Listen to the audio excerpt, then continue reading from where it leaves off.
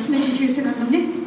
네, 그러면은 최현 씨에 대해서 말씀을 드렸던 것 같고요. 네. 그 지수는 어, 좀 약간 어둡고 남성적인 역할들로는 많이 이미 사람들한테 배우로서 평가를 많이 좋은 평가를 받은 친구였고, 근데 이제 그런 생각이 들었어요. 그러니까 약간 그 눈매가 약간 좀 이렇게 길고 한 그것이 되게 정극에도 잘 어울리는 반면에 가끔 시 웃으면 그게 아까 말씀하신 뭐 댕댕이, 네. 뭐 또는 뭐 멍멍미 그게 그 시 웃을 때 그 느낌이 저는 굉장히 좀 매력을 많이 느껴가지고 그러면 아마 진지하게 하는 연기는 이미 충분히 평가를 받았고 검증을 받았고 한번 저 댕댕미, 멍멍미로 상징되는 그 시 웃는 느낌을 청춘물로 붙여보고 싶다는 생각이 들었고 그러면요, 감독님, 네. 그 느낌, 우리 중계 카메라 감독님 지수 씨 한 번만 비춰주시겠어요? 자, 한 번씩 웃어보도록 하겠습니다. 지수 씨, 자, 들어갑니다. 자, 이 모습인 거죠?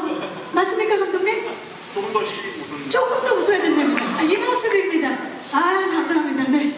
자, 네. 그리고 진영 씨. 우리 도연 역할의 진영 씨는 사실 음, 우리 역할을 앞으로 또 이제 launching이 되면 보시겠지만 사실 굉장히 좀 흔들림이 있는 친구예요. 그 캐릭터가. 그러니까 강단이 있고 자기가 스스로 모든 앞길을 헤쳐나가는 얼핏 보면은 굉장히 강단 있는 캐릭터지만 그 내면에서는 굉장히 많은 흔들림, 뭐 조금 더 놀고 싶다, 조금 더 공부하고 싶다, 조금 더 뭐 짐을 내려놓고 싶다 이런 흔들림이 있는 면이 있는데 그 흔들림을 표현하는데 되게 좋은 마스크와 이미지라고 좀 생각을 해서 좀 캐스팅을 부탁을 좀 드리게 됐고요. 네, 지금 흔들림이 표현되고 있죠, 화면으로. 네, 지금 굉장히 흔들리고 있습니다, 진영 씨. 네, 네. 좋습니다.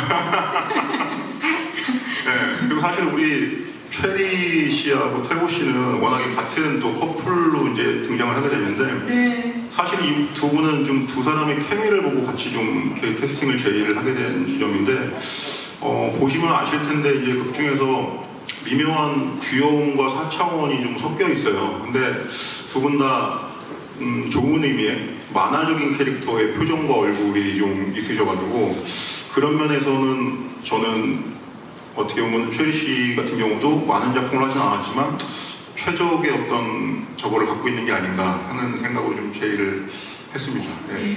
지금 두 분 또 이렇게 보니까 예 커플룩이에요 오늘 좋습니다.